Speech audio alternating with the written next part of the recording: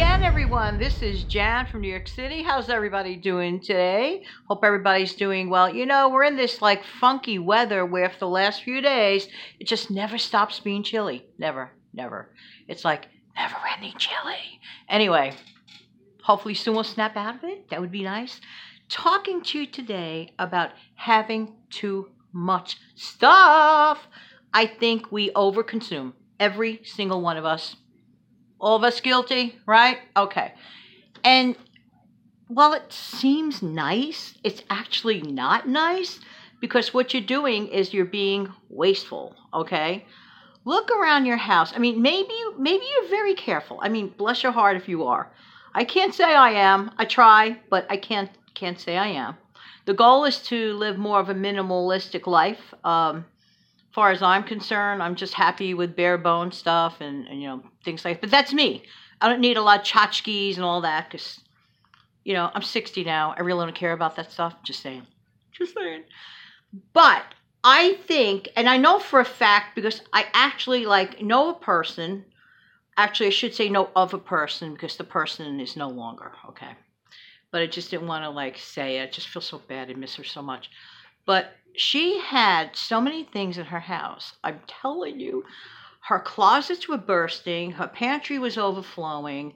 I mean, I literally had to walk around her stuff. And I was like, and this was a very dear friend of mine. So I, I, I said, you know, you kind of like either got to stop shopping or like do something with the stuff, okay?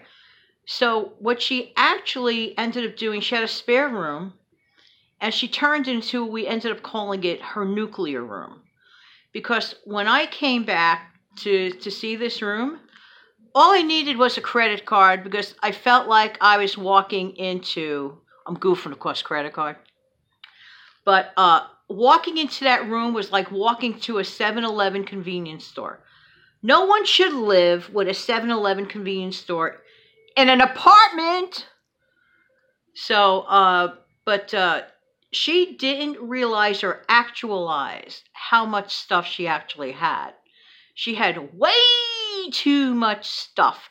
Question Do you think that you have a lot of stuff? Are there things that you can give away? Are there things that you're just not using because you forgot about it? Are there things that you just don't like? Are there things that you just, for whatever the reason, can't seem to confront the box, even though it's brand new and you really, really want it, and open it? Anybody ever do that? Excuse me. It's been known to happen. So I believe this one of the biggest money wasters in America, for example, we're over consumers, even clothing, but especially even groceries, okay? How many times have you gone to the grocery store and, and you come home and recognize that you've had like you've had this item and you have lots of that item and then you get annoyed because you could have you tied up your money wrongly.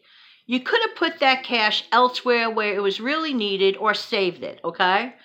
So, I mean, here's the thing. If this is you, maybe it's not you, and kudos. But if it is you, take that minute, look through your stuff a few minutes a day, and say, wow, you might find something you really wanted. You might find something you completely forgot you own. You might find that necklace that you thought you didn't have. You might find that outfit that you don't need to buy. You might find uh, 10 boxes of spaghetti in your pantry uh, that you forgot about and the jarred sauce to go with it, you might find these things. So I think we need all of us to, excuse me, clearly assess what we have, for one. Stop being such overtly consuming people. And I even think we just basically eat too much. Okay, I know I'm heavy. I don't mean like that. But I mean, all of us as a habit, we, we eat huge portions of things that, because we're taught to do that. Because we're taught to do that from those uh, stores that want to advertise and make you think that when you go home to a normal sized burger, when I think, okay, when I think of what a corn muffin looked like in 1975 when I was a teenager. And when I look at what a so called muffin looks like today, I literally, literally can share it with four, uh, uh, four ways. Four ways. One muffin. I've done it. Okay? So I think we overtly consume, and I think we should shut it off a little bit. What do you say? In the meantime, this has been Jan from New York City. Thank you so much for viewing. I really do appreciate your time. Don't forget to click like, share, and subscribe. Without subscribers, why should I have a channel? I need to know you're watching, right? If you uh, if you like my video, thank you for clicking like, and, uh, and that's pretty much it. In the meantime, have a great day.